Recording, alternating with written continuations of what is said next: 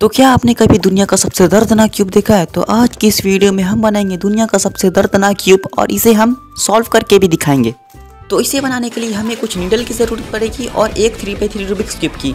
और कुछ इस तरीके से हम अपने three by three Rubik's cube के ऊपर कुछ नीडल को इस तरीके से अटैच कर लेंगे।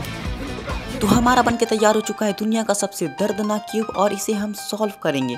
भाई साहब, मुझे कोई आइडिया नहीं है कि इसे सॉल्व करने के बाद मेरे हाथों की क्या हालत होगी।